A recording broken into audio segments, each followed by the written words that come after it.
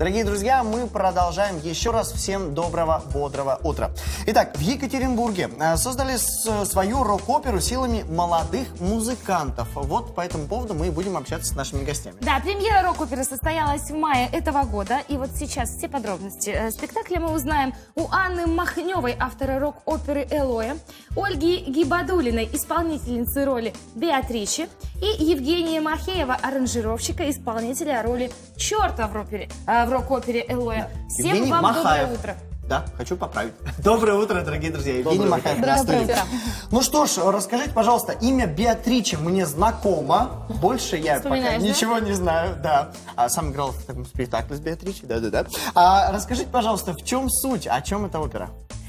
А, ну, если кратко, то, конечно, опера в первую очередь о любви. То есть очень... Мы специально взяли очень простой сюжет, вечный сюжет. Демон влюбился в ангела, и а, вся ситуация, вся история закручивается вокруг их любви. А, а вот дальше уже там различные нюансы. Жизненные перипетии. Жизненные да? перипетии, да, сюжетов. То есть вокруг э, персонажа еще есть а, ангелы, вот как раз Беатричи и Архангел Михаил, да, и вокруг свита демона у нас тоже черт, и есть еще грешница такая, душа, которая не определилась, собственно, за ее душу вот тоже идет. Ну, А а- сколько всего споры. человек участвует в спектакле? А всего в спектакле занято порядка а, 20 человек, из них 6 солистов, остальные, ну, танцовщики, танцевальная группа. Так, а все-таки сценарий, он основан на каком-то литературном произведении? Или это такая фантазия ваша? А, ну, не совсем. То есть изначально а, в основе лежит поэма французского писателя Альфреда де Виньи «Элоа», но она очень творчески литературно переработана, да, и добавлены новые персонажи, то есть практически, кроме главных героев, там, все- скажем так, все остальное уже Трансформировано. трансформировано, да, А и вообще, изменено. да, вообще сложно с нуля создавать а, вот такое огромное произведение, тем более это мюзикл. Сколько времени вам потребовалось на это? Нам потребовалось порядка трех лет. То есть нам Три года, серьезно? Да, это на написание эм, текстов, вокальных партий и аранжировки. Это очень Ольга, много. Евгений, а рассказывайте, пожалуйста, о себе. Вы профессиональные вокалисты, либо у вас есть еще какая-то дополнительная профессия? Очень хочется о вас узнать. Так, ну, давайте начну я. Э, Я не могу сказать, назвать себя профессиональным вокалистом. Профессия у меня другая. Какая? Э, Я электроэнергетик. Вот как. Неожиданно. Вот, Хорошо. э, Но музыка была с детства моим любимым занятием. И, э, в общем-то, долго ей занимался. И вот в итоге как-то стал частью вот этой вот машины. А вы работу не оставили на время репетиций? Ольга, а ну, а вы э, инженер э, каких-нибудь станков сталелитейных? Нет, нет, я тоже не профессиональный певец, хотя я пою в коллективе музыкальном диапазон, но как бы моя профессия осталась далеко. Я начала петь после того, как э, вышла в декрет. А, то есть это тоже ваше хобби, по Да. сути, да? А у вас вообще весь э, штат артистов не профессионалов? По сути, это для нас, для всех хобби. Мгм. Так получилось. Ну, невозможно не отметить, естественно, костюмы. Насколько мы разбираемся в этом стиле, это стимпанк, А, не, а, со- что-то к- похожее. который как-то интересно сочетается с оперой. Расскажите об этом. не совсем так. Дело в том, что костюмы отнести к стилю стимпанк достаточно сложно, но действительно элементы стимпанка в костюмах Шестеренки. присутствуют. Вот поэтому я и узнал. Да, да, да. То есть элементы действительно есть. Все правильно. А поч- почему, это появилось? Почему появился стимпанк? Как-то а, общая какая-то идея, любовь к этому стилю? А, не совсем. У нас просто, а, ну, скажем так, с- э, идеи спектакля, они пересекаются частично с э, идеями, близкими стимпанку, поэтому мы решили оформить в таком стиле. А сколько вообще создавались костюмы по времени и кто их делал? Отдельно обученные люди или своими силами? Э, опять? Костюмами занималась а, Екатерина Мальцева, это наша солистка.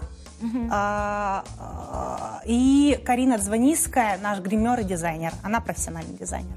А Вот мы еще слышали, что вы занимаетесь сейчас э, студийной записью альбома, основанной на этой рок-опере. Правильно? Да. Когда можно будет это уже послушать, не только увидеть? Так, Евгений аранжировщик. Э, Ну, работа, правда, ведется. Мы дорабатываем музыкальный материал. Вот буквально вчера доработали последние нюансы. Э, Впереди запись вокальных партий. Ну, после этого будет сведение, мастеринг. Ну, то есть примерно где-то, я надеюсь, что месяцев через 9. Как, Как, ребенка. Уже вот, то есть, А сколько всего? Зачем? Ну, я так понимаю, что все-таки мюзикл, значит, он состоит из э, нескольких песен, да, и там еще есть диалоги какие-то. Или он весь Нет, Не это совсем, рок-опера, э, прям формат это полностью, да? То есть у нас весь сюжет передается посредством э, песен. Ага, а по времени сколько? Два часа. Два часа, два, с- ну, два часа 15 минут с антрактом. серьезный а хотя бы три минутки из спектакль. этих двух часов можно вырвать для нас?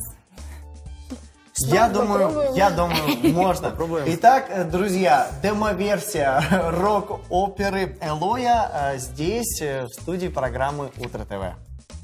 Что у вас?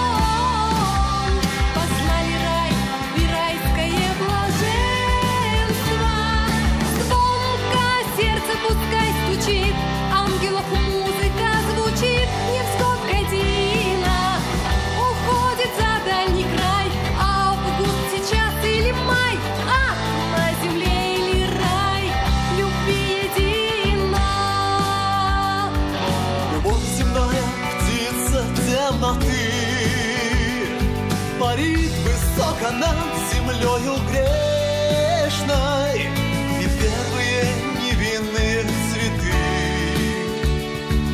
Срывают предрассветную небрежность Сквозь сеть пространств и марева времен